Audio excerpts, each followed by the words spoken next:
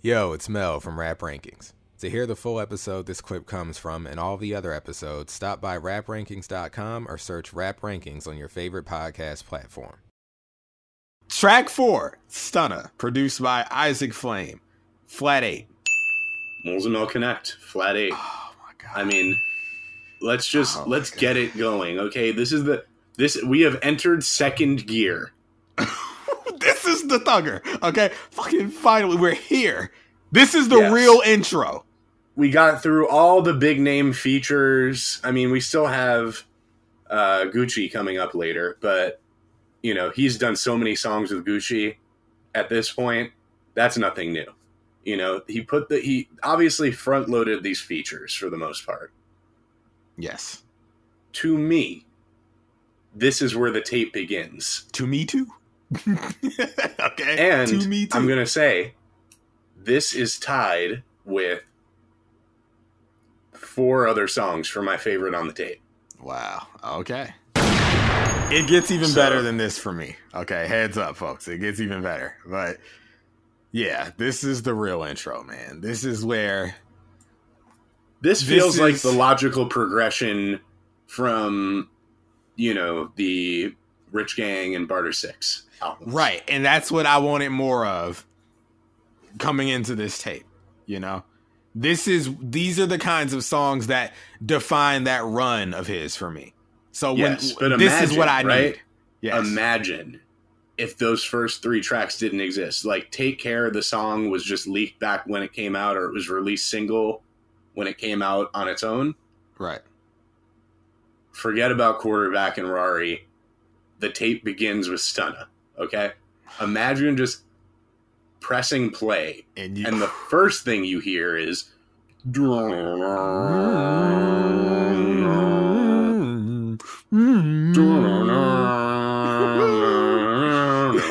and you hear that like chopped up siren.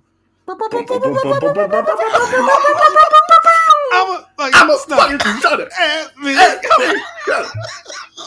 Okay, so folks, the the pre-show's over.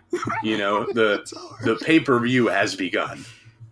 This is the fireworks going off. Welcome to slime season. Welcome to WWE Slime Season. okay, we're here now. This is the moment. Okay, Right. Oh. You know, oh. you see the video package. Bill Cosby is the announcer for some reason. I guess WWE, after already getting axed from NBC Universal, now has joined up with Bill Cosby because they said, fuck it, our reputation's already been destroyed with one suggestion. So, in order to keep this place going, we got Bill Cosby. He's not only the uh, an, like the announcer voice that you hear at the beginning of the show and on the video packages. He's also the ring announcer. the ring announcer. He should do commentary. He's- he should be the yeah, backstage guy. He's all he's running around. Listen, they they've got they've got this man working like doing like five jobs. He has to make amends for his crimes. Okay, Yes, and he's always he's not allowed to interview the female performers. exactly. I was just about to he's- say it. He's always asking the male performers like about the fiend and if they're worried that the fiend is going to target them next. That's money. That's money. Honestly, it's a money concept. Listen, And then he's gonna and he's gonna like tell he's gonna cut just randomly cut promos too and be like the reason why we lost the TV deal with NBC Universal is they feared the fiend. right. the honestly, the most bizarre piece of media to ever be produced would have to be Bill Cosby presents WWE Slime Season. like, like no, nothing's topping that. Stunner. And then you know, like I guess like Kevin Owens comes out because he does the stunner. Yep. You know, he comes out to Stunna. Everyone comes out to different slime season songs. Oh, that's great. Oh, don't don't get me. I gotta relax because now I'm gonna be thinking like, who would get what song? We cannot go I down mean, that rabbit hole. The the fiend's getting freaky. That I know. yeah, I was just. Yeah. Absolutely, yeah. All right, maybe Matt Riddle's getting overdosing.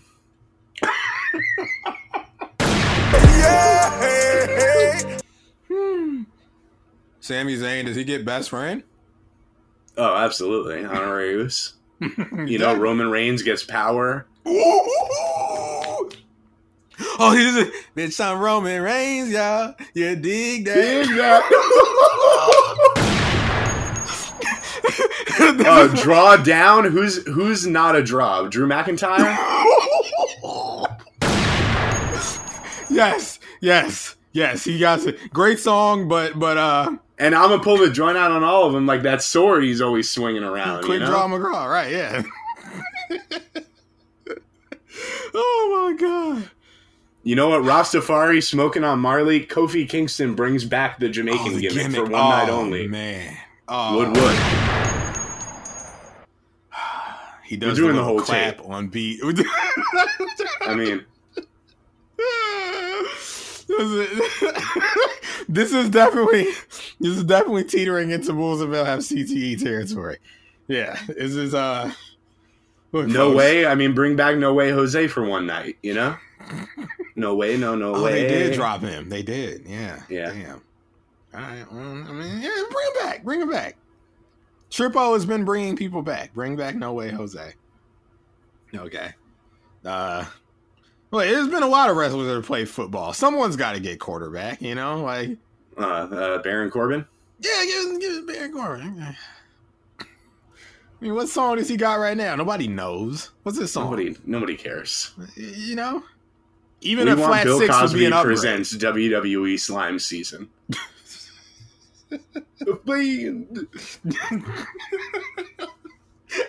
the pay per view has to conclude with him having a heart attack and dying. the fiend finally shows up. He's the fiend, the fiend, the fiend. okay, okay, yeah. No, we just we just came up with the best piece of media ever. Okay. That's nothing's topping that. All right. I'm sorry, folks. Give up. Don't make no more TV, no movies, no music. Nah, it can't end with Bill Cosby dying in the ring. Bill Cosby dies in the ring, and then Ric Flair comes out and starts crying, and then it's over. There we go. That's a 10. That's a 10. As the fiend just sits there, like just staring at this whole thing, not reacting whatsoever. oh man. Um folks, only a good mixtape could inspire such whacked out, gacked out thoughts from Moulz and Mel. You gotta understand. So Tony Khan, I can't even do it. Bill Cosby, okay. you ain't got the fiend. Got the promos the whole night on everybody. Tony Khan, NBC. It's just come on, come on, um, folks. I like this record a lot. If you can't tell, okay. No, nothing else would inspire this level of, of, of buffoonery. No, right. this is this is this. sh-. Okay, so you were talking about like that karate chop flow. Yes, To me, this is the peak of it on this. it is. The, the way the hook follows, like the bounce, he's almost like out of breath by the end of the hook. Like, pull up on a pussy nigga in a second. Yeah, And then the dude, the ad libs, just like that when he says it's like Yeah. Th- This is the era of from him, and yeah, yeah, sheesh, what? All of that. I need the soundboard. we need the Young Thug 2015 ad lib soundboard. Okay. just Oh really this whole tape.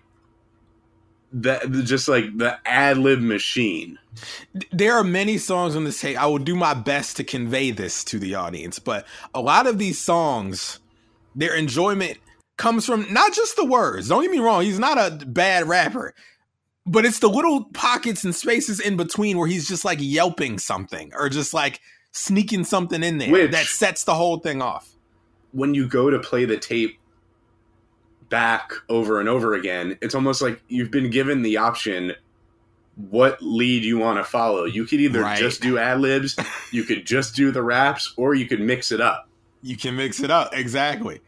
Folks, I I probably have at least 50 like saved Snapchat videos of me acting out these songs in 2015. I'll post one of them. I'll post one of them when the episode drops. Like they're so fun to rap along to and just perform along with him. He he is one of the greatest performers we've ever seen in hip hop. Okay, I don't think that that's not crazy to say. Okay, the greatest performers. I don't mean like stage performers. I mean on record, studio performers. But what's great about this record is he's hitting the peak of that karate chop flow. Like you know, he's doing big beat, stung him, and bzzz, the beat it all leads off to him like to me i picture him like taking off like the weighted training clothes he took like that freaking broly restrictor off of his off of his face his, his waist and he launches right into the hop inside the coupe and drop the roof because i'm a motherfucking man you Yeah. oh my I'm- uh, that is oh The roller coaster. i'm gonna right? cry right Or I think, as we said on the Rich Gang review, it's like an Olympic routine. Right. He's like doing acrobatics and he's on that beam. He's like flipping around. It's so. Mama gave me head on the brain and I bought a bitch brand new way. I'm a boy I'm now living like a pig. That, that is what you- I have to perform it that way because that's what makes it pop. Signed But so many deals. I think I got the best sig. It's I can like write. I can write. what? it's highly technical rapping, but reined in a bit for the songwriting, Yes. right? Yep. So he has pockets of what you just did, Right. but he's also doing the karate chop flow, and he's also doing the the thing where he's taking the words and stretching them out and singing them. So, I mean, it feels like an evolution of what Wayne was doing. An evolution, Right. not a copy. Because there's a lot of times where we hear someone and it's like, damn, they just sound like they spent their whole life listening to this artist and now here they are to give you the watered down version. That's Right. not what this is. This is like, okay, Wayne not taking anything away from him because he's better at certain things than Young Thug. Right. But Young Thug evolved the skill set in a way. he laid the blueprint with like that that like prostitute flange type crooning you know that wayne but played he was the first prostitute flange, and this is something that Drake learned with like nothing was the same. Prostitute flange is prostitute flange. He doesn't spaz out lyrically at any point on prostitute flange. It's a straight up singing record. right yeah you know if he and- did more i think the thing about thug is that he's pulling from all these different areas so it's like the karate chop flow the wayne syrupy vocals and then this double time flow that he's doing but only in pockets right so it's like you've got Wayne, like, you know, late 2000s Wayne influence. You've got, you know, this contemporary Atlanta influence, but then yeah, you've like also the, the got double time flow you know yeah, you know, but you've just you've you've got him doing it in a way that feels like he's evolving it in some form or fashion as opposed to just tracing over it. All, of those things existing on one record is what makes the Young Thug experience so mind blowing. Because it'd be different if he's like he was doing one of those things on one record and then can find another one of those things. All of this is happening on the same song. Like you, Right. you talk about the Wayne influence, him coming out of uh, sign so many deals, think got the best sig. Into the way he delivers this is that he had no Hear evil, no I see no I see no evil. That's very Wayne. Okay, like I ain't kidding Wayne, but I called the bitch and now she my mama Sita. Sita. And then he'll like ramp back up and play with my head up. I see watermelon. Nigga moving slow in the caterpillar. I got hundred thousand hoes trying to get a million, and then flips right back into. I got a I got a hundred hundred thousand and I don't keep the I'm almost at the finish, and these niggas still begin. Like, like, how is he do? to this day, I'm like, how is he doing this? How how do you do this? You know, like I'm still fascinated by him doing these things. You know, it, it's. I hope I'm communicating this properly. It was the fact that he was merging all of this fearlessly. Like, we know that he's an enigma and that he doesn't really explain himself too often, which is a good thing. When you do something like this, you should just let it be a mystery. But it's like, if I was able to do stuff like this, I don't know. I might be trying to tell everybody, like, you know, oh, I drew from this and I I fused this with this. Like, give me my credit. He would just put these. Well, he wouldn't even, but they would leak. they would leak. They just be out, and it's like, but they would leak and they would sound like this. So it's like, oh shit, he's got to be somewhat hands on in the recording process of this because it kind of sounds finished, right? He had some of the most finished sounding leaks ever. Come to think of it, like Absolutely. they were ready to be released. You know, like my oh my favorite moment on the song in verse two. I got more money than you, and you, you, and you, you, and you, and you, you too. I ain't even care, but I got a motherfucking cool with this blue. okay, like, oh my god, it's just in credit to who produced this. Who was this? Uh, Isaac Flame he gave Thug like one of those perfect beats for him to be bouncy and elastic on. Cause it has like its ebbs and flows.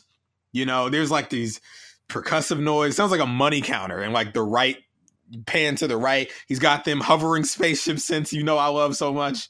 Like, and Thug is losing his fucking noodle on the air. Like, this was a spiritual experience for me. You know, like hearing this, it's like you can really do whatever. Now, it's not this easy. He makes it look easy. It's not this easy, but hearing Young Thug for the first time unlock something in my brain as a rapper where it's like, you can do like these weird ideas, like just try it. you know, like this was like, you, you never know what you'll end up with. Like, he was an inspiration to me in that regard. So, and it's because of records like this. The true intro to the tape, okay? A flat eight. Like it a lot, okay? He is a stunner. But like I said, it gets even better for me. So, uh, you got anything else, Rich? No. All right. Well, hey, we can move on to. Yo, it's Mel from Rap Rankings. To hear the full episode this clip comes from and all the other episodes, stop by raprankings.com or search Rap Rankings on your favorite podcast platform.